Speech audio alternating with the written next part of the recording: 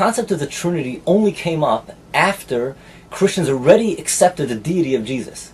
It was an effort, a philosophical effort to justify something they believed already, an absurdity they believed already.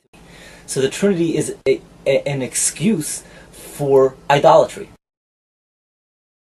The three entities that compose God. The Trinity, the Trinity, the Trinity, the Trinity, the Trinity. Nearly 1,700 years ago, this diabolical doctrine of devils was integrated into Christianity to further the political ambitions of two power-hungry men. Roman Emperor Constantine the Great and Sylvester, the Bishop of Rome. Emperor Constantine wanted to unify his empire politically.